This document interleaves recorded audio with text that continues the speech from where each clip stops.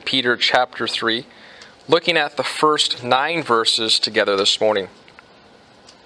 The title of our study is The Promise of Jesus' Coming. The Promise of Jesus' Coming. Now, there are some today, uh, even within mainstream Christianity, that don't believe that Jesus is going to return. However, there's a lot more outside of Christianity that don't believe Jesus is coming back. Um, and they, they really scoff at the idea that he's going to come back. They believe he was a real person and that he died, um, but that's about it. And they don't want to they don't, don't want to look into it any further. Um, but we know that Jesus is real, that he did die on the cross for our sins, was buried and rose again, right? The gospel message. And we also know that he's coming back. Right? He said, I go to prepare a place for you, that where I am, you will be with me. And we know that there's a moment that uh, uh, we see in 1 Thessalonians 4, the twinkling of an eye, that the church will be with the Lord, um, that will be united with Him. Um, and that's something we should be looking forward to. In fact, it says that in 1 Thessalonians uh, chapter 4, therefore encourage one another with these words, right? Because being with the Lord is much better than anything else, right? We can be with Him forever. And so today we'll see that, that Peter warns his readers and us to understand uh, that we can trust in the Lord. And he gives us these three important facts about God and the promise of Jesus' return. In verses 1 through 4, we'll see that God's word is true. Uh, verses 5 through 7, we'll see God's work is consistent. And then lastly, verses 8 through 9, we'll see God's will is merciful. Now, again, when we talk about the coming of Christ, there are those who think things continue on as they always have. Uh, I think as humans, there's a part of us that don't like change. And you've probably heard about some of the recent closings in our community about stores. You've probably seen it nationally. The companies have gone bankrupt.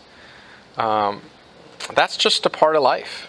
And yet, there's for some reason we don't like change, right? We like to go to the same restaurant, sit in the same seat, order the same thing um, we don't venture out. You know, once we get comfortable, we like to stay there. Um, and the same can be true spiritually, right? We want to think the same things. We don't want to uh, maybe look at things from a different perspective, or maybe look into it deeper. Um, we don't want to share that with other people. We just kind of want to be in our holy huddle, our Christian bubble, and keep to ourselves. And Peter's going to encourage us to, to make sure we understand that God can intervene in human history, that God is still performing miracles today, uh, and that God wants to continue uh, to have us look at Him. Not look at what's going on in the world, uh, but keep our eyes on Him. And, and as we look at what's going on in the world, that we should be praying, right, for all the events. Pray for the leader of North Korea. Pray for our community that it prospers. Uh, pray for our men and women in, in, uniform. Pray for our president. Pray for those in leadership. Um, you know, that's something that we should be doing all the time. But most importantly, we need to keep our eyes on the Lord. He's the one who's in control, He holds it all together, and He's the one that we can trust. So we'll see Peter uh, deals with that as well. So, Second Peter chapter 3, uh, let's take a look at the first four verses here. Uh, he says, Beloved, I now write to you this second epistle, in both of which I stir up your per- pure minds by the way of reminder, that you may be mindful of the words which were spoken before by the holy prophets, and have commandment of us, the apostles of the Lord and Savior. Knowing this first, that scoffers will come in the last days, walking according to their own lusts and saying, Where is the promise of his coming? For since the fathers fell asleep, all things continue as they were from the beginning of creation.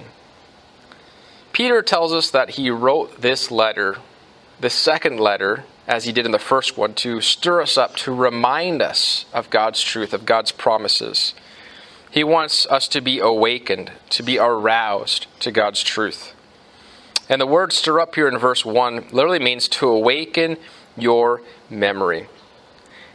That word stir up reminds me uh, if you've ever been camping before and you've had a fire and after a while those logs burn out, there's coals there. You can grab a stick and you can stir it up. And as you do that, you'll find that it comes back to life, right? There, there's heat and there's enough there that you can get a fire going again. And that's the picture here that is at times we can be forgetful, um, that we can lose sight of God's promises. We can continually ask God, why, why, instead of going, Lord, thank you, you're with me. I'm going to cling to your promise. So we need to be stirred up to remember uh, of who the God is and what He has done for us and what we can trust in, the promises that He has. Again, sometimes it's easy for us as Christians to get accustomed to God's truth. I'm reminded in uh, Acts chapter 20 of a guy named Eutychus.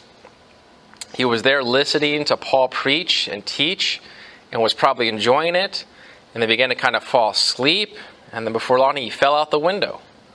And we don't want that to happen to us, where we hear God's word, we hear the truth so often that we're kind of like, okay, I've heard this before, blah, blah, blah, let's get through this. Um, and we can sometimes do that with our daily devotion, like, oh, all right, I got to get through this chapter of the Bible again, and then I got other things planned to do today. And God's saying, no, no, no, slow down. I want to connect with you. I want to have a heart to heart with you. Let's, let's utilize this time for refreshment and encouragement, not just to check it off the list. So we want to make sure that we're uh, listening and paying attention to God's word because it's true and it's a message that should be taken very seriously. The word of God must awaken us to live godly lives and seek to win the lost to Jesus Christ.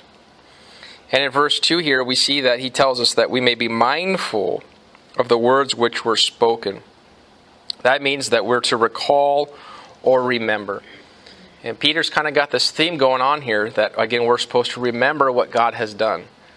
And it's hard to know what God has done if you don't know the Word of God. It's hard to trust in the promises if you don't know what the promises are. Again, that's a good encouragement for us to be Bible students, to make sure we know the Word of God, that we're reading in context the Bible, that we have a Bible reading plan, we're getting through God's Word, uh, you know, chapter by chapter, book by book. And that as we find those promises in the scripture, we can underline them, we can highlight them, we can write them in our, our daily journal, uh, and cling to those promises. Because what God says is true, you can take it to the bank. Not one word of our Lord has ever failed. We can trust in what He has for us. So we're to remember what the Bible says.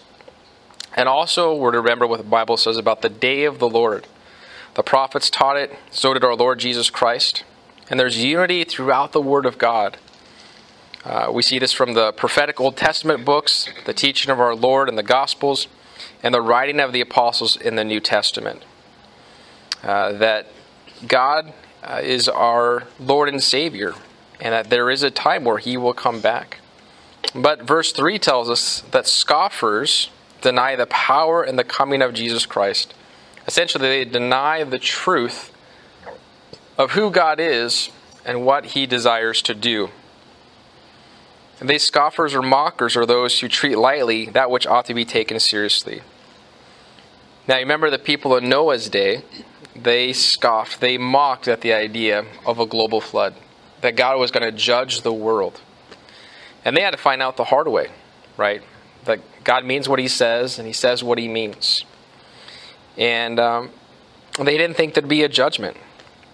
We also see this at the citizens of Sodom. They scoffed at the possibility of fire and brimstone destroying their city.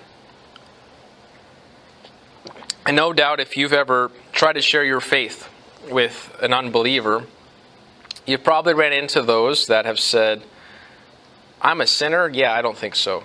Or, God wouldn't send anyone to hell. I mean, come on. God's a God of love. He wants everyone to go to heaven. And they mock the idea that if they don't put their faith and trust in Christ, that they're going to end up separated from Him. But that's what the Scripture teaches us, right? That we have to repent from our sins, turn away from our lifestyle of evil, and come to the Lord, right? Receive Him by faith, by trust. Receive the grace of God. Put our faith and trust in Jesus Christ alone.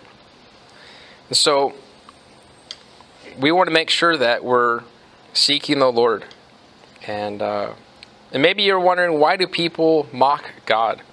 Well, Peter tells us here in verse 4 Um, and the end of verse 3 as well, that they're walking according to their own lust. Um, and they're saying, Where's the promise of his coming?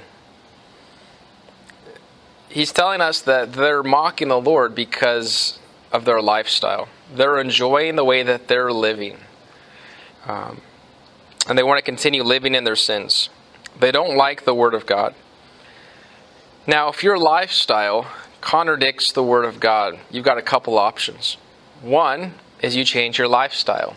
You submit to the Lord, right? You receive that correction, and you allow the Lord to do that work in your heart and work through you.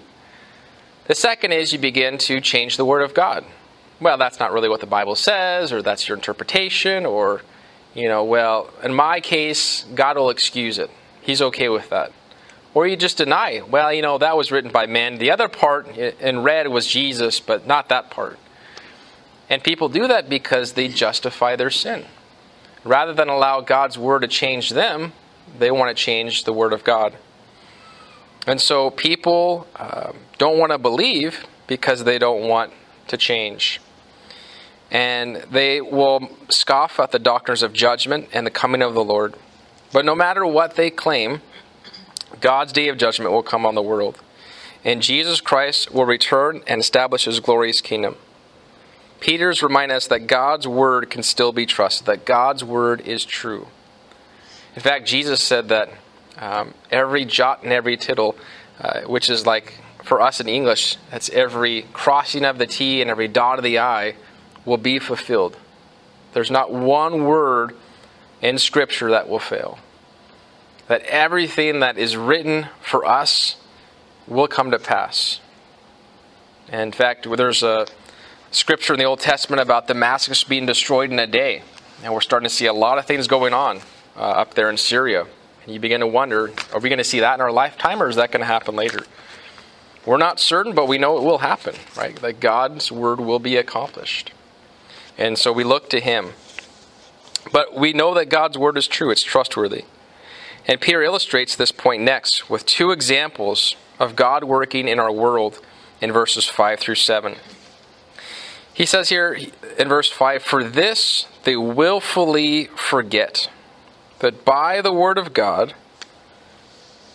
the heavens were of old, and the earth standing out of water and in the water, by which the world that then existed perished, being flooded with water.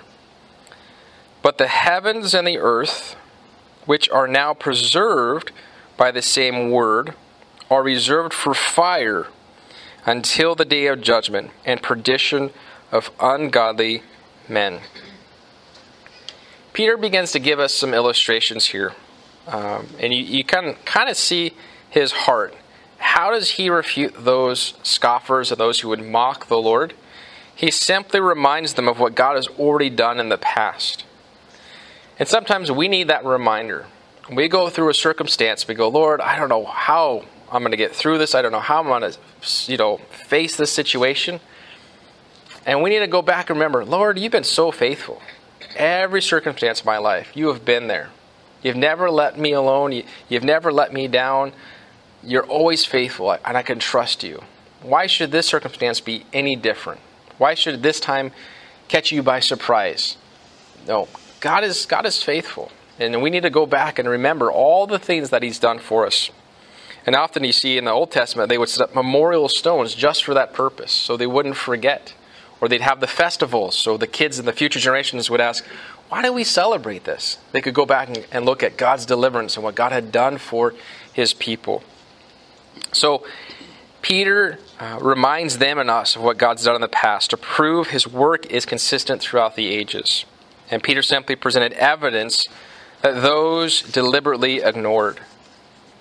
Willfully forget here in verse 5 means to deliberately choose to overlook, suppress, or ignore this fact. It's amazing how so called thinkers, uh, scientists, liberal philosophers, uh, theologians will be selective and deliberately refuse to consider data.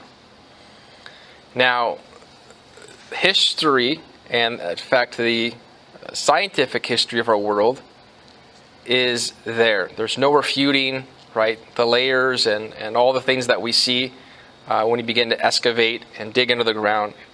But depending on your worldview, you may have a different interpretation, right? Maybe millions of years or a younger Earth. Um, and so looking at that really will determine your outlook. And so these guys, uh, a lot of these um, so called thinkers, uh, have a preconceived idea that they want to uh, you know, push into what they're looking at, or they'll ignore certain things. You probably heard a couple years ago that they found some dinosaur bones, and they didn't want people to know that they also found DNA and bone marrow in the dinosaur bone. If that was millions and billions of years old, how would that be possible? So they deliberately chose to ignore that information. Now, that's what Peter's saying here that people are being selective. They're deliberately refusing to consider certain things that God has done. And so Peter cites these two events in history to prove his point. The work of creation, we see that in verse 5, and the global flood in Noah's day in verse 6. The first one here in verse 5, the work of God at creation. The first example is that God created the heavens and the earth by his word. Can you imagine being there when God's speaking everything into existence? God said, Let there be light, and whew, there was light. I mean, just the words flying out of his mouth, creating everything, would be amazing. Uh, we probably wouldn't want to get in the way uh, because it would be destroyed. But the power of Almighty God to speak everything into existence.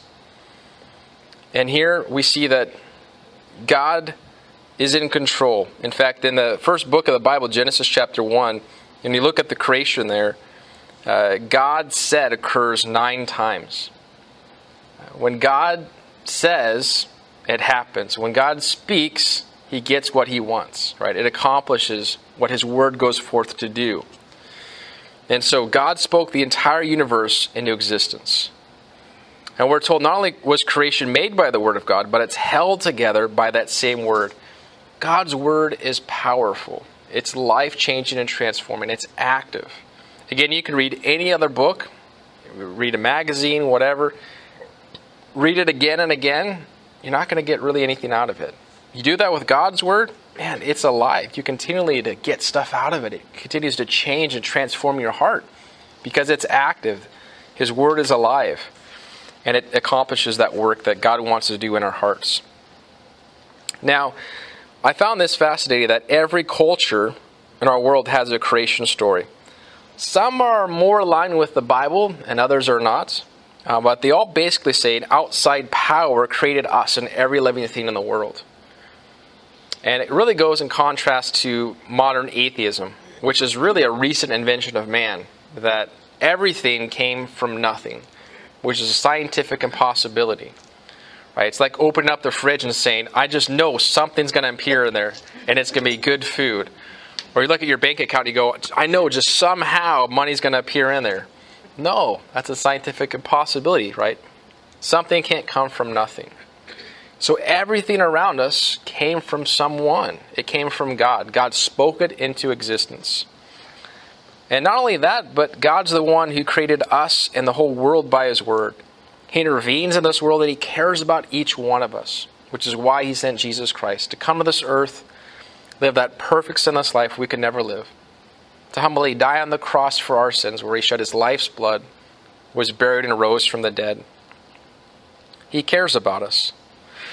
Now, the second event Peter cites here in verse 6 is the global flood in Noah's day. This flood was uh, over the entire world. Uh, it was cataclysmic.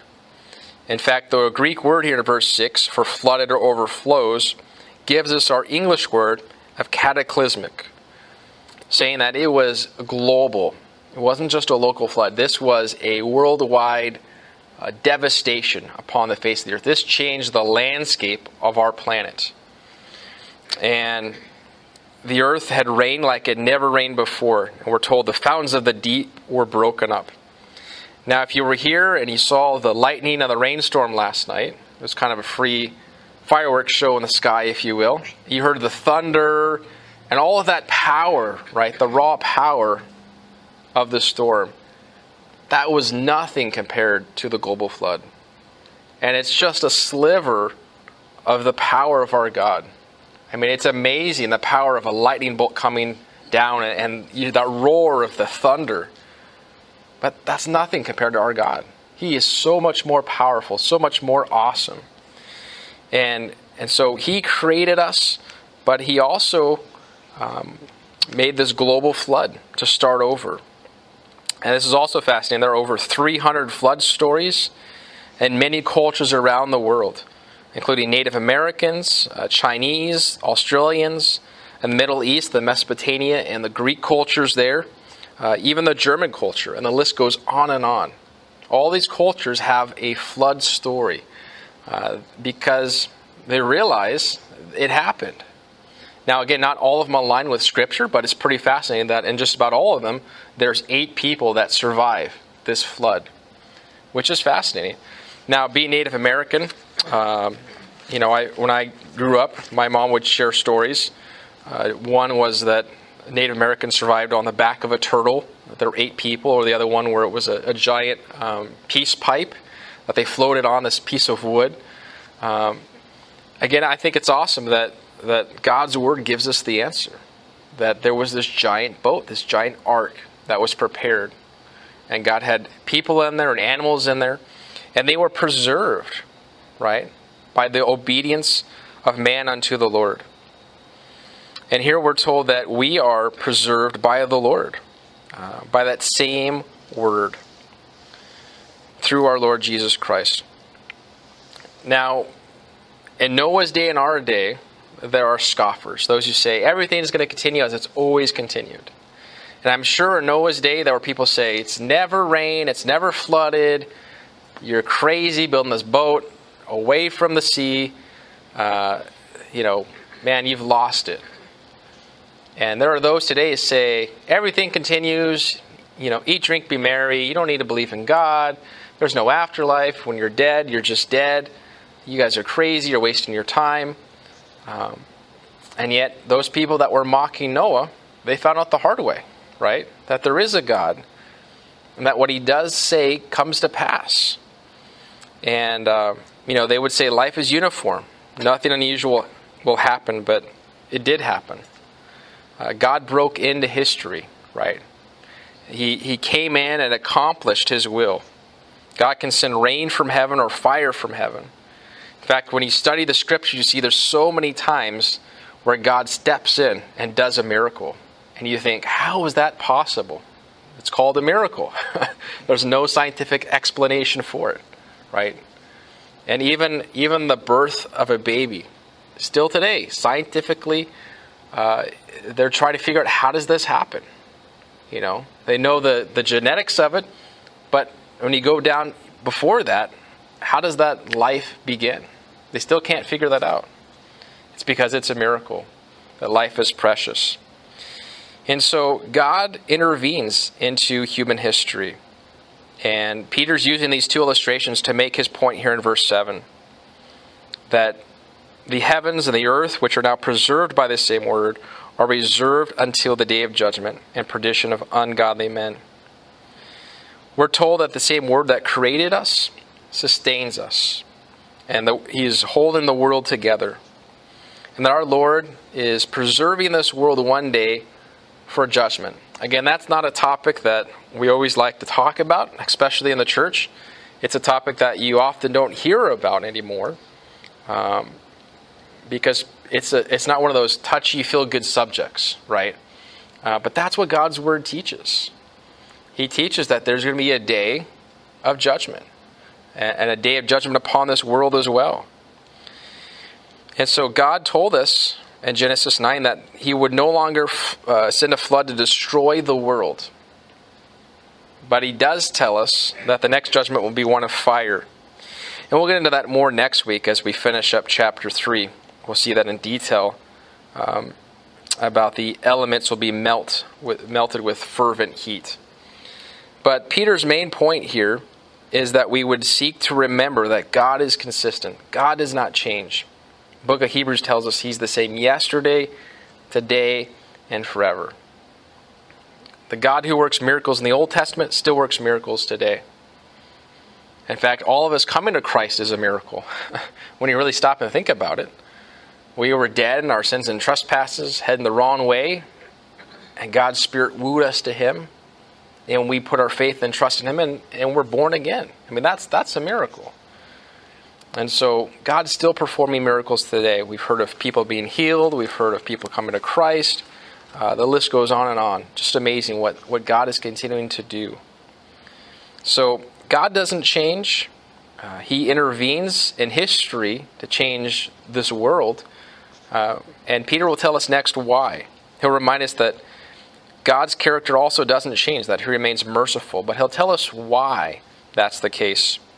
We see that here in verses uh, 8 through 9, that God's will is merciful. He says here in verse 8, But beloved, do not forget this one thing, that with the Lord, one day is as a thousand years and a thousand years as one day. The Lord is not slack concerning his promise, as some count slackness, but he's long suffering toward us, not willing that any should perish, but that all should come to repentance. That's God's heart. That's God's desire, right? As that none would perish, but all would come to repentance. And so we want to make sure that we realize that. And once again, Peter's saying that, that these scoffers, these mockers, um, they don't understand the character, the nature of God, that He is consistent throughout the scriptures. Sometimes you hear people say that the God of the Old Testament is an angry God, He's, uh, you know, wrathful and judgmental. The God of the New Testament is God is of mercy and love and peace, and He would never hurt anyone. But when you look through the entire scripture, you realize God's consistent. The God that struck down Ananias and Sapphira in the book of Acts, right, for lying and trying to deceive others and really the Holy Spirit, is the same God of the Old Testament.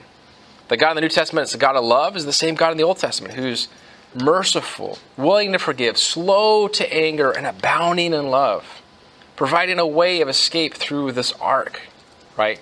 Desiring his people to be rescued and delivered. And he's patient, right? God is patient with us.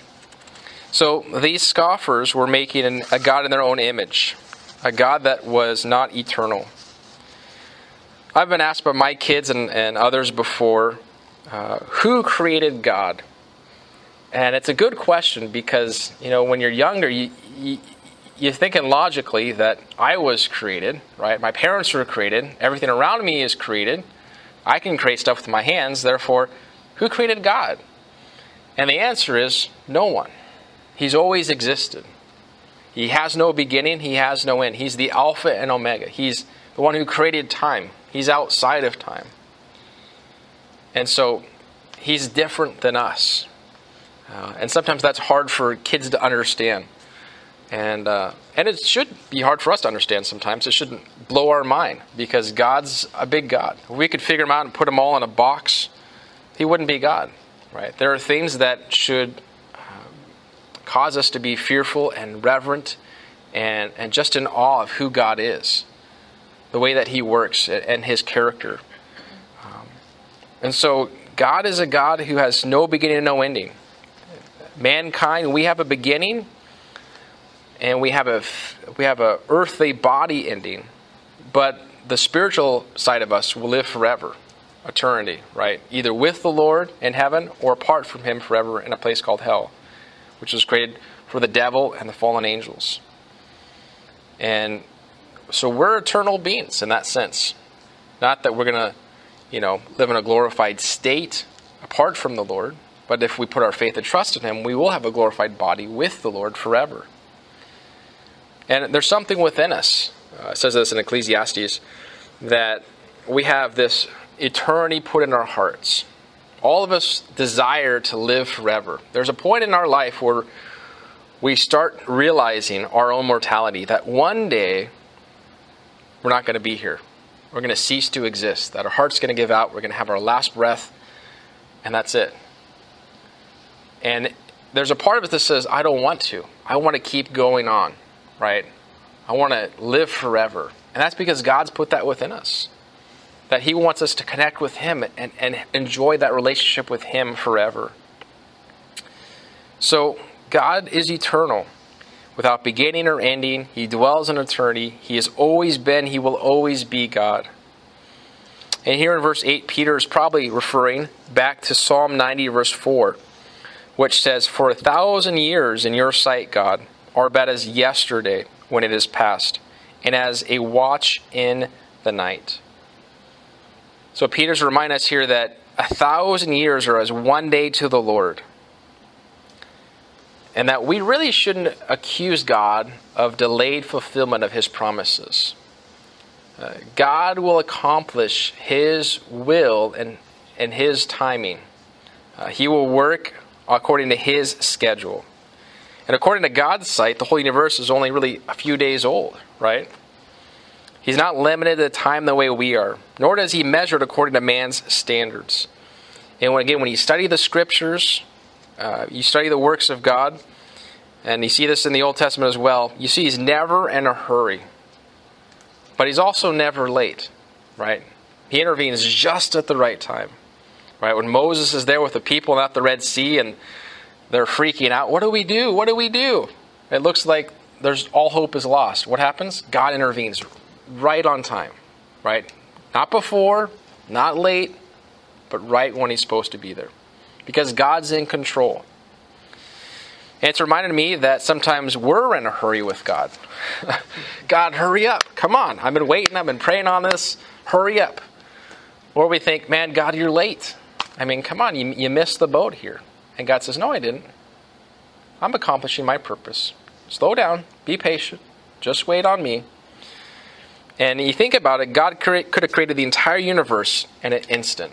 Yet he chose to do it in six literal 24 hour days and the seventh day to rest and set it apart as holy. God could accomplish what he wanted to deliver his people, Israel, from Egypt in a moment. Yet he desired to invest 80 years into Moses to train him to, to lead the people out of Egypt. And you see this throughout the scriptures that God could have also sent the Savior much sooner, but Galatians 4 tells us he waited until the fullness of time was come. God works in time, but he's not limited to time like we are. And God's timing is always perfect. We need to trust in that. To God, 1,000 years is as one day, and one day as a thousand years.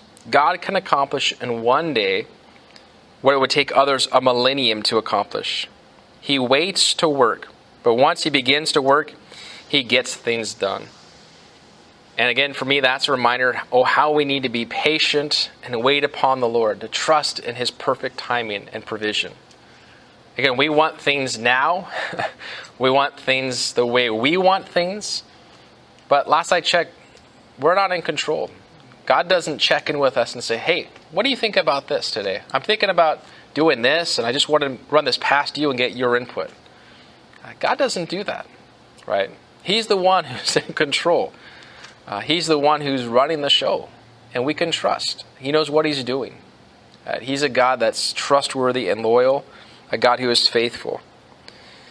And so the scoffers didn't understand God's timing, nor did they understand his mercy, which is why God delayed the coming of Christ in the day of the Lord. And we're told in verse 9, it's not because God was unable to act or unwilling to act, as some uh, attribute to God, but that He is a God of love, not willing any perish. Uh, God is not tardy or off schedule. You've probably heard people say, well, if God is all loving and all powerful, wouldn't He put an end to, to suffering and sin in the world? And they wrestle with that. Well, maybe He's all powerful. He could, but He's not all loving. So He lets it go on. Or maybe he's all loving, but he's not all powerful. He wants to do something, but he can't do something. And here we're told in Scripture the reason is because he's not willing any perish, but that all would come to repentance, all would come to put their trust in him. He's waiting. He's merciful. He's being patient. And sometimes we need to learn that example. Uh, I've, I've had to do that as a parent with children. There are times where um, they can ruffle your feathers, so to speak, and you want to discipline right now, right? I want, I want things my way. And if you just slow down and are patient, things work them, themselves out. You gave your kids an opportunity to say, you know, Dad, I'm sorry. I shouldn't have done that. Please forgive me. Great. Much better. and I think God's waiting for us the same way, right? God could bring judgment to the earth whenever He wants. But I'm thankful He didn't do it 10 years ago, 20 years ago. I'm thankful that He's still waiting for people to come to Him. Many of us, uh, you know, we're thankful as well because we wouldn't have made it, right? Uh, but God waited for us. And God's still waiting for others to come to Him. And, and we want to have that heart towards those around us, to see them come to Christ as well. So, God's delays uh, and the coming of Christ and the great day of judgment is because of His long suffering. God wants to give lost sinners every opportunity be saved. There should be no question in anybody's mind whether God wants sinners to be saved. Verse 9 makes it very clear God is not willing that any should perish, but that all should come to repentance. So, in closing, these verses give us both the negative and the positive. They assure us of God's love for all of mankind, and that God takes no pleasure in the death of the wicked. It says that in Ezekiel chapter 18, verse 23, verse 32, chapter 33, verse 11, and really throughout the scripture, right? That God is not willing that people perish.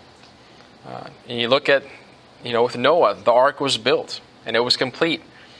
And God waited seven days for people to get on the boat before he sent the flood. Imagine day one going out there and saying, All right, guys, the boat's ready. Come on on. You know, come and get in the boat. Oh, and it's not going to rain. Day two, you go back out there, like, okay, guys, God's giving me another day. Come on, get on. And then day seven, right? Like, okay, another day. Here we go. All right, everyone, get on the boat. Ah, you know, you're you've lost it. And, okay, goes in and God shuts the door, and then, hey, it's starting to rain. Hey, let us in. You know, and, and it's that that mindset that that God is not willing any perish. In fact, this is one of the reasons that Jonah had such an issue with going to Nineveh, going to a Gentile nation and telling them to repent and, look to the Lord. He said, No, I'm not going because you're merciful. You'll forgive them. And I don't want them to be forgiven. I'd rather, I'd rather you know, jump off the boat and drown than go tell them. God says, Well, that's not really my heart. You know, I'll swallow you up with this great fish and you'll be humbled. and then when your heart is ready, you'll cry out to me. And took him a couple days, which again shows he had some heart issues going on.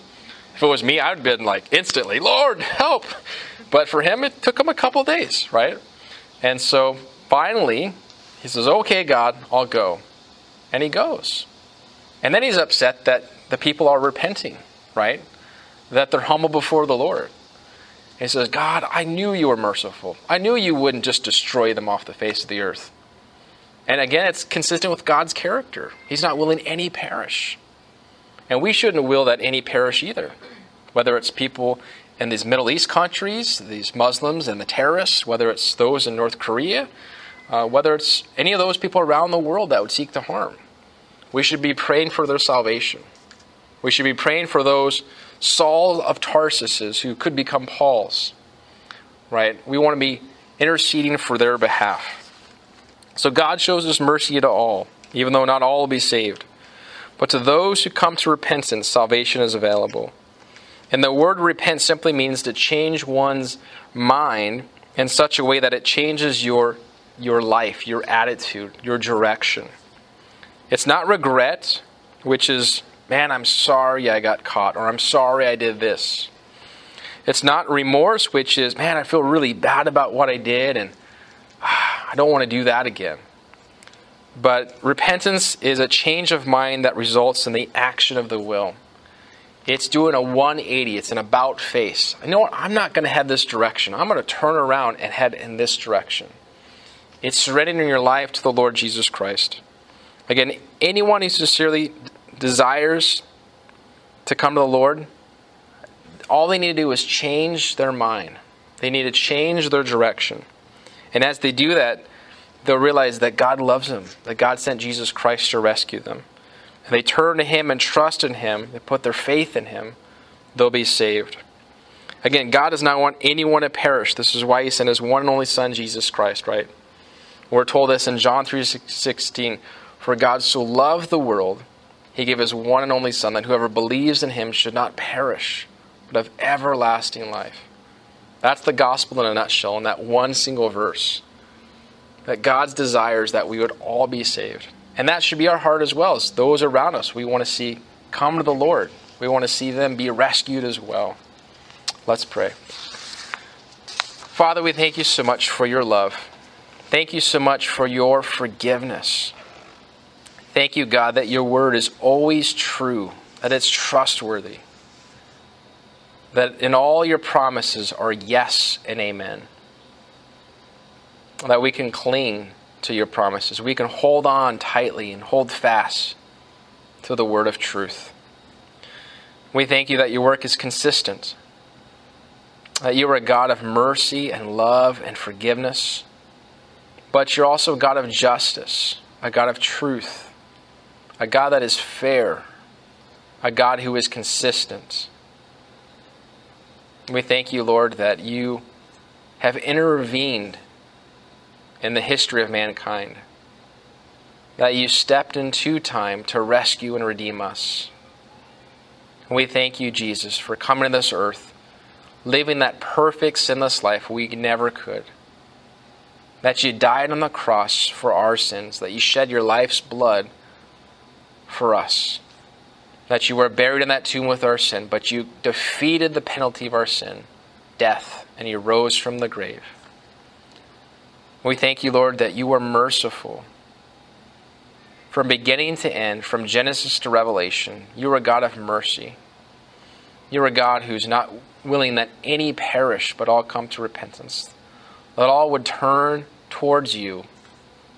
They'd look to you, and they'd put their faith and trust in you. Lord, we pray that you'd help us to have that heart towards those around us.